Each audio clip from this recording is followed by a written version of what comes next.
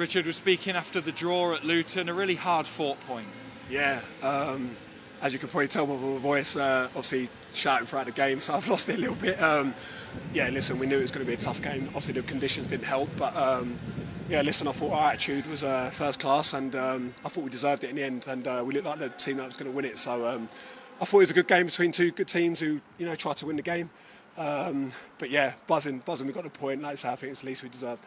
The dominance in that second half really paid off at the end. yeah, the manager spoke about it at half time, and um, we just tweaked a few things that we thought we could work on, and um, yeah, it paid off. Obviously, a great ball in from Baka, and then Naby was on to tap it in. So, um, bit unfortunate at the end for Toffs. I feel gutted for him. He played really well. He's been a big part of the team. Obviously, he slipped.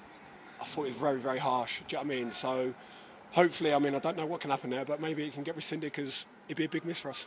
A, nice goal for Naby as well, especially to, to make up from the error that led to the goal. Yeah, exactly. Um, yeah, I think if you ask Naby, um, he admitted himself, like you say, he can do better, but um, he didn't let it affect him. Uh, obviously, as a group, we got round him, kept him in the game, and uh, yeah, he's obviously a threat from set plays. And uh, yeah, I was buzzing when he tapped it in and uh, got us a deserved point.